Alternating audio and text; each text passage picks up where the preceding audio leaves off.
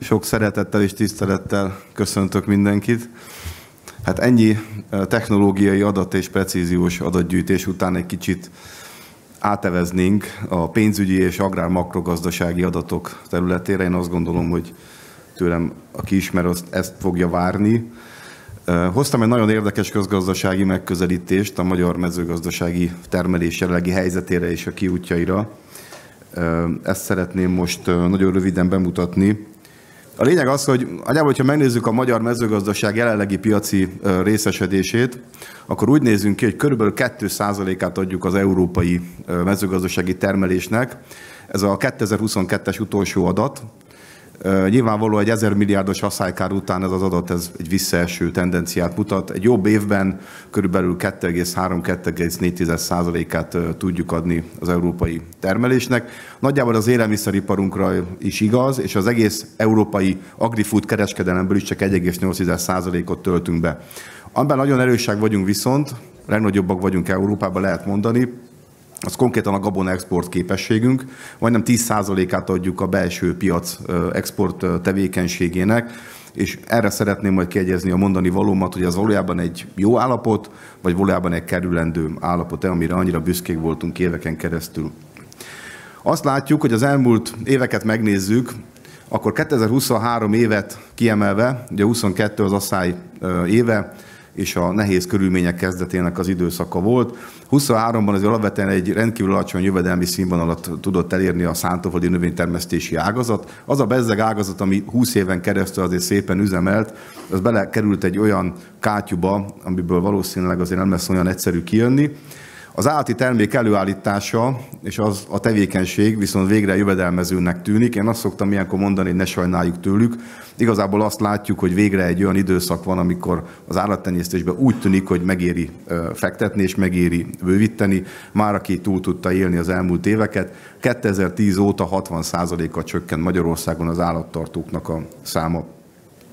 Túl vagyunk egy brutális élelmiszerárinfláción, ez a majdnem 50%-ot elérő élelmiszerinfláció azt gondolom, hogy megrázta az egész magyar fogyasztói társadalmat, és elég komoly visszhangja is volt. A jó hír az, hogy 2023-ban már egészen pozitív időjárási körülmények voltak, és vannak, 2024-re tekintve is eddig, ugye a csapadékról beszélünk, de ez nyilván nem jelenti azt, hogy nyáron nem érhet minket egy újabb hősok és egy olyan időszak, amikor az asszály pusztít. A finanszírozási környezet az nagyon megváltozott, mindannyian látjuk, hogy milyen kamatszintekkel lehet pénzhez jutni. Kijelentjük az banki szektor részéről, hogy az olcsó pénz korszakának vége. Ha egy 5-6 százalék környéki stabil kamatszínvonalat, alapkamatszintet el tudunk kérni, akkor azt gondolom, hogy annak már egészen örülhetünk. Azt látjuk, hogy az amerikai államkötvény hozamok fix kamatozása 10 évre most 5% környékén van.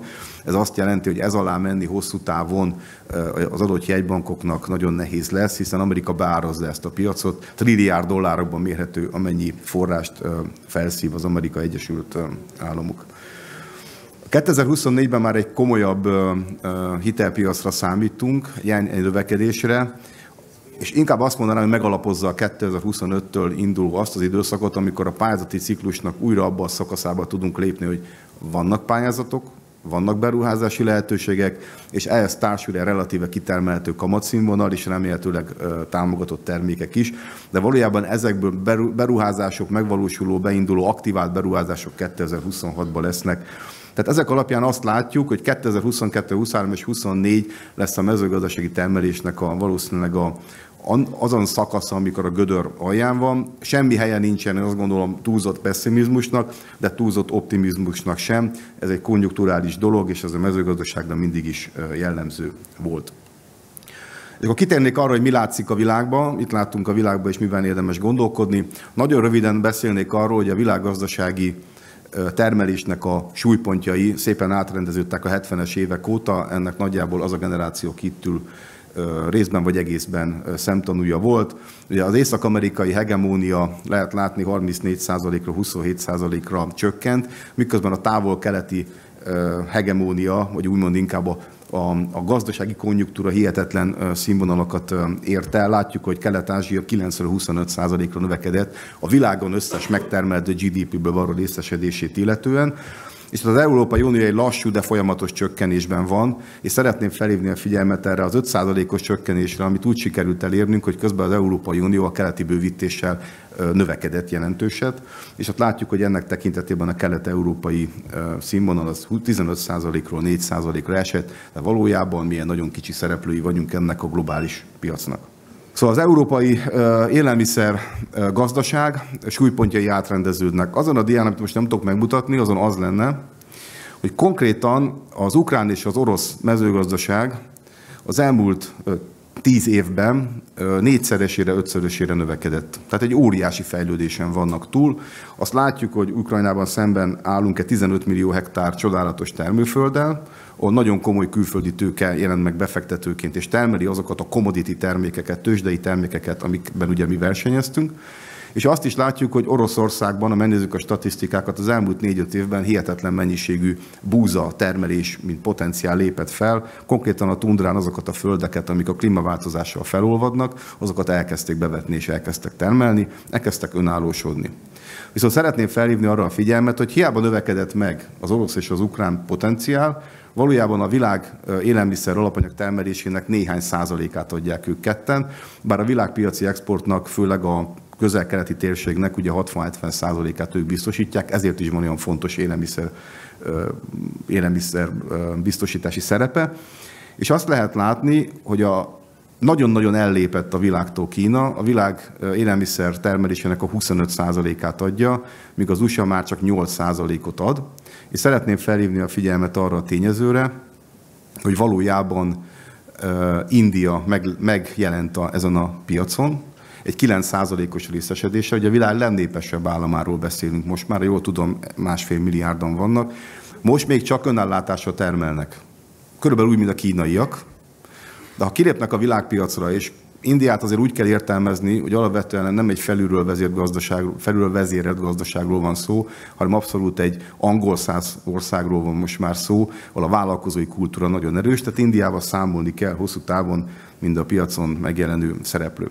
Ez a dia egyébként azt mutatja, ez az állatsűrűségi index az Európai Unióban mutatja azokat az országokat, ahol az állattenyésztésnek komoly jelentősége van, egy-két példával bemutatva ezt. Mi látszik ebből? Túlterhelt Nyugat-Európa.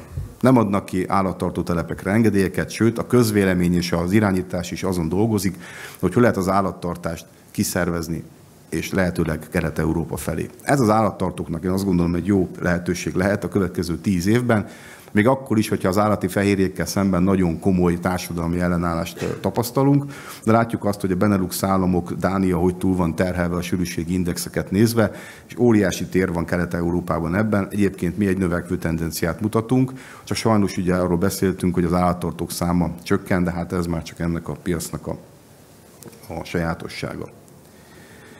És uh, mi történik a támogatási színvonallal? tendencia egyértelmű. Az Európai Unió jó ideje döntött arról, hogy a mezőgazdasági alaptámogatások színvonalát elkezdi csökkenteni. 2015-16 környékén kezdtük el ezt elemezni, akkor azt láttuk, hogy körülbelül a magyar termelésnek a, az eredménye az 50-60 százalékban támogatásból származik. Lehet látni kiugró években ez lehet 100 vagy akár 80 százalék is de a tendencia egyértelműen az, hogy csökken a támogatások színvonala. Ugye ma már egy hektár termőföld művelési költségének mondjuk egy hetedét fedezi a támogatás, az alaptámogatás. Ugye 2014-15-16 környékén egy harmadát fedezte, tehát ebből értsünk és lássuk, támogatásokra alapozni hosszú távon nagyon nehéz lesz. És hát sajnos minden tényleg minden második jön. A fő üzenet az az lenne, hogy vannak, voltak és vannak nagyon okos emberek a világban, akik leginkább arról beszélnek, hogy ha változik körülöttünk a világ, érezhetően válságba kerülünk, és ebből a válságból megpróbálunk úgy kilábalni, hogy mindent ugyanúgy csinálunk,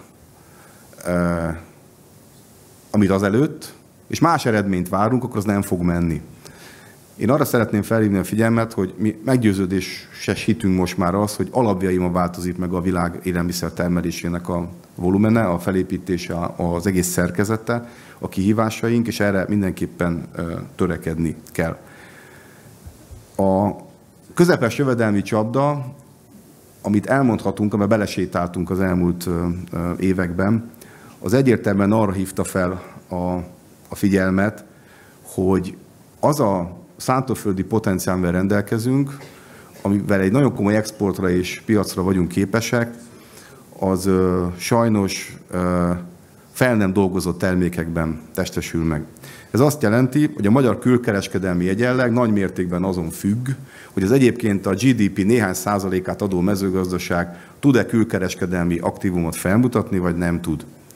És láttuk, hogy mi történik, a piacainkra beáramlik az a mennyiségű commodity termék, ami tőlünk keletebbre megtermelődik. a számolnunk kell. Tudjuk, hogy más feltételek alapján állítják elő, másképp működik az ottani szabályzás, de a tény az tény. Tehát a közepes jövedelmi csapdának az a lényege, hogy egy ország beszorul egy kényelmi állapotba, elér egy bizonyos jóléti és egy fejlettségi szintet, és onnan nem lép tovább. Ez egy nem olyan régi közgazdasági összefüggés. Mi arra ösztönözzük a döntéshozókat és önöket is, hogy ebből egyszerűen túl kell lépnünk, és egyszerűen muszáj megteremtenünk azt, hogy hogyan tudunk feldolgozottságot növelni. Az lenne a célszerű, hogyha egyébként nem exportálnánk nyilvánvalóan semmilyen alapanyagot és alapterméket. Mi ennek a legfőbb eszköze az élelmiszeripari oldalon? Az lenne, az lenne a lényege, hogy ne abban gondolkodjunk, hogy hogyan tudjuk a potenciálunkat, a méretünket tovább növelni, mert az nem fog menni, hanem az adottságinkat hogyan tudjuk ennél a jelenleginél sokkal, de sokkal mélyebben és alaposabban kihasználni. Ugye miben gondolkodik ma egy szántóföldi növénytermesztő, ha tudok, még veszek földet, ha tudok, még növelem a, a méretemet, próbálok alacsony költséggel minél nagyobb hozamokat előállítani, az árakra semmilyen ráhatásom nincsen, ugye, az adottság, és ennek tekintetében kell valahogy boldogulnom. Mi azt mondjuk, hogy elértük ezt a fejlettségi szintet, innen lépjünk úgy tovább, hogy el kell kezdenünk dolgozni a minőségen. Azt azért tavaly láttuk, hogy a Magyarországon megtermelt gabonáknak a többsége, több mint a háromnegyede, az olyan minőségű volt, amire nem volt kereslet. De a legfelső minőségi kategóriában ott folyamatosan fennállt a kereslet, és fontosan fennálltak a relatíve jobb árak, tehát magyarul el kell mozdulnunk abba az irányba, hogy hogyan tudunk a már most megszerzett erőforrásainkon sokkal magasabb minőséget termelni. És ugye az élelmiszeriparra pedig az az igaz, hogy neki kell állnunk egyszerűen kilépni a nemzetközi porondra. Én mindig azt mondom az agrárvállalkozóknak, hogy szurkoljanak az élelmiszeripari bajnok programnak, az élelmiszeripari cégeknek. Nem tudunk mondani ma Magyarországon kettő-háromnál több olyan élelmiszeripari céget és brandet, akit Európa szinten elismernek vagy ismernek, fel kell építenünk 10-20-30 olyan céget, akivel ki tudunk lépni az európai piacra, és ez szolgálja a mostani élelmiszeripari bajnok program. Én nagyon örülök annak, hogy a kormányzat is felismerte ezt. És a növekedési ösztönzők a közepes jövedelmi csapdának a másik szempontrendszere, ahol az, hogy mindent optimalizálunk a támogatások és a beáramlót működő tőke irányában. Ezzel szemben a minőség alapú verseny sokkal inkább az innovációra, az oktatásra és a klaszterekre helyezi a hangsúlyt. Itt nagyon sok egyetemi emberrel találkoztam, és vannak, ők tudják, hogy miről beszélünk. Egyszerűen olyan gyorsan változik a környezet körülöttünk, hogy tudás nélkül, és az legmagasabb szintű tudás nélkül nem fogjuk tudni felvenni a versenyt Európában. Ugye az élelmiszer gazdaságban nagyon gyakori szintén ez a volumennövelés, amiről beszéltem az előbb is, szempontrendszere, és itt mindenképpen azért felhívna a figyelmét, a minőség alapú versenynél ez sokkal inkább az automatizálás és a termékfejlesztés az, ami elvezethet minket oda, ahova szeretnénk tartozni. Köszönöm. És akkor milyen eszközeink és céljaink vannak végül, néhány kihagyott dia után? Alapvetően a költség alapú versenyben, ugye mivel dolgozik a gazdaság, a devizaleértékeléssel és a piacvédelemmel, ez alapvetően azt gondolom, hogy, hogy nem feltétlenül eredményes megközelítés, mert a minőségi alapú verseny minden esetben a társadalmi fejlődésre és a környezeti minőségre helyezi a hangsúlyt, és az élelmiszer gazdaságra ugyanezt lefordítva alacsony bér, olcsó energia és olcsó alapanyagban gondolkodunk folyamatosan, de valójában a munkaerő hatékonyság és a magas értékteremtés az az, ami a legfontosabb eszköz lehet a célokhoz, amiket a legutolsó dián szeretnék bemutatni. Oké, okay, köszönöm. Itt alapvetően ugye mi a cél? Az, hogy GDP növekedés és munkahelyeket teremtsünk. Na most kérem szépen, a mezőgazdaság nem fog munkahelyeket teremteni, a jövő mezőgazdasága munkahelyeket fog megszüntetni, de nagyon nagy mennyiségben és mértékben. Egy sokkal inkább arra kell törekednünk, hogy az életminőségre kell helyeznünk a hangsúlyt. Én azt gondolom, hogy a jövő mezőgazdasági termelői azok el fognak férni Magyarországon egy ennél mondjuk háromszor nagyobb teremben, akik azért is hivatottak, hogy ne csak élelmiszert állítsanak elő, hanem a vidéket egy kicsit felemeljék, és olyan szolgáltatásokat biztosítsanak, amire egyébként az állam nem tud vagy nem akar fordítani, és hogy olyan környezetet hozzanak létre a városias térségeknek, ahol rekreációval tudnak élni, tehát magyarul szállodaipar és ehhez kapcsolódó szolgáltatások. És ugye ami a költségalapú verseny másik óriási zsákutcája véleményem szerint, az a brutális volumen fókusz, és az az árverseny, amiben belemegyünk, hogy minél kisebb önköltséggel, minél többet termeljünk, és ezzel versenyezünk a nálunknál sokkal a nagyobb országokkal. Jó példára a mostani borágazat helyzete, ahol 60 ezer rossz minőségű hektár ültetvényen szeretnénk versenyezni lédigbor tekintetében, az egyébként 1 millió hektárra rendelkező Spanyolországgal és Olaszországgal egyesével nem fog menni, csak minőségi borokban van esélyünk. És hát az élelmiszer gazdaság ugye minőség alapú versenynek az optimális elérendő célja a következő lenne, hogy minőséget állítsunk elő rendkívül hatékonyan, és amire szeretném felhívni a figyelmét, az az ellenálló képesség. A jövő vállalkozásai akkor lesznek sikeresek, ha ennek a hihetetlen gyors változásnak gyorsan mindenki gondolja végig, hogy három év alatt mennyi minden történt körülöttünk. Tehát 2019 volt az utolsó békeév, és nem csak háborús tekintetben, pénzügyi tekintetben, szociális tekintetben, egészségügyi tekintetben, minden tekintetben olyan gyorsan változik minden, aki nem tud ellenálló képesen tevékenykedni, gazdálkodni, és nem tud nagyon gyorsan alkalmazkodni a megváltozott viszonyokhoz, az sajnos ki fog halni. Egy diát még kérnék vissza, mert én nem tudom irányítani. Menjünk vissza, majd mondom. Ezt, köszönöm szépen. Vissza, ezt. És ezért mondom azt, hogy sokkal, de sokkal több üzleti gondolkodásra van szükség az ágazatban, kevesebb agrárpolitikára van szükség, ez nagyon sokáig ö, zajlott. Most kezdjünk el üzleti ember, üzletemberként gondolkodni, üzletiesen. És miért mondom ezt? A támogatás politika ö, megszületésekor, 60-as években, amikor létrejött az agrár támogatás politikai rendszer, akkor mi volt a fő üzenet? Fölolvasom, mert ez így pontos. Európának legyen elegendő megfizethető élelmiszere, a mezőgazdasági termelők tisztességesen éljenek. Ez 1962. Mert akkor az a veszély fenyegetett minket, hogy Európa városiasodik, iparosodik, nem lesz elég élelmiszer. Az új kap hatályba lépése 2023 szót, egy szó nincs erről. Miről van szó?